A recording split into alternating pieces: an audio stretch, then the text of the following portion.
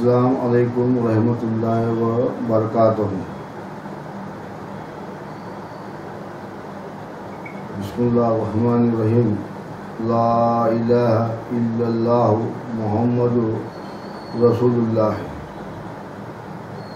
अल्लाहुम्मा सल्लि अला सय्यदना मौलाना मुहम्मद व अला आलि मुहम्मदिन कमा सल्लैता अला इब्राहीम व अला आलि इब्राहीम इन्नका हमीदुम मजीद अल्लाहुम्मा बारिक अला मुहम्मद व आलि मुहम्मदिन कमा बारकत अला इब्राहीम व आलि इब्राहीम इन्नका हमीदुम मजीद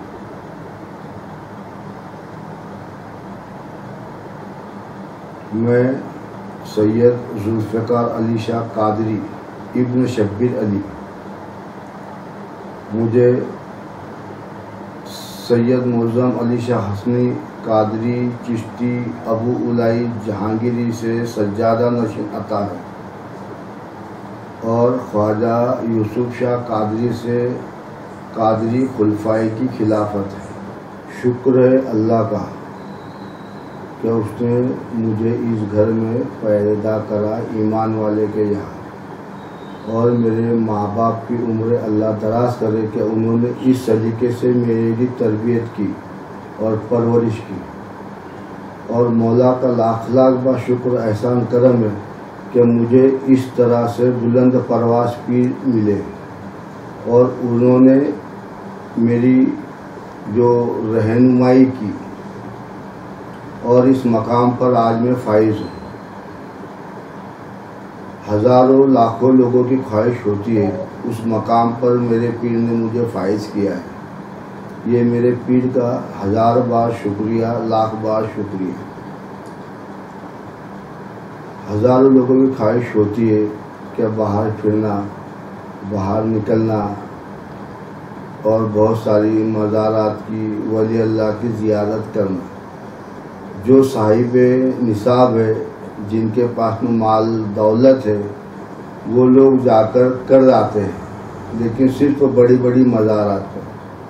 उसमें बहुत सारी जो रास्ते में छोटी मज़ारात होती है या वली अल्लाह होते हैं तो वक्त की कमी के लिहाज से वहाँ पर ज़ियारत नहीं कर पाते।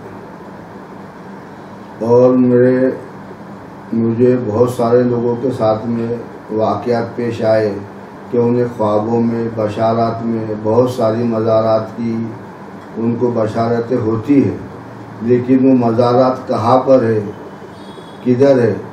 और किसके उसको इनकी निशानदेही नहीं मिल पाती।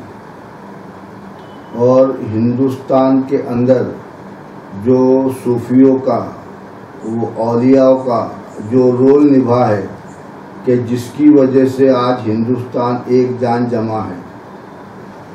तो ये भाईचारा ज़िंदा करना है और हमें ज़्यादा से ज़्यादा मज़ारों की वली अल्लाह की ज़्यादत करनी है और लोगों को घर बैठे करवानी है। जैसे बहुत सारों को ये होता है कि ये मज़ार कहाँ पर है, लेकिन उन्हें खबर नहीं है। तो हम उसका लोकेशन सेंड करेंगे, कहाँ से जाने का रास्ता है ये बताएँगे।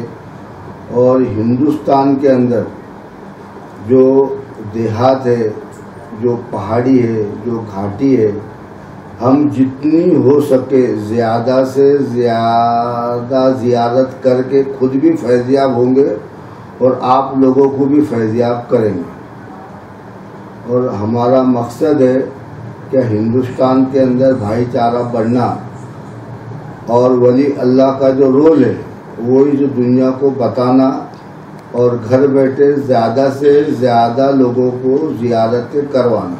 हमारा मकसद है हिंदुस्तान में कौमी एकता, भाईचारा बढ़ना चाहिए और देहात के अंदर जो कौमी एकता है, जो अपना हिंदुस्तान का कल्चर है, वो बताना है कि अगर देहात में आज भी कितनी मोहब्बत है और पीर पीर औलिया से लोग कितनी मोहब्बत करते हैं।